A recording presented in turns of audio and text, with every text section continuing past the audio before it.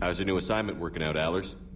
Fairly normal, except for the unshackled AI, Matriarch Benezia's daughter, and the communicator that can reach Earth. The first two, I can deal with. That last one gets my attention. So what are you asking for exactly? Anything from Earth is the lead story right now. That's not opinion, it's fact. Maybe I can pass on a few non-classified progress updates. Seriously? You just doubled my ratings. I don't need FaceTime, just a data upload.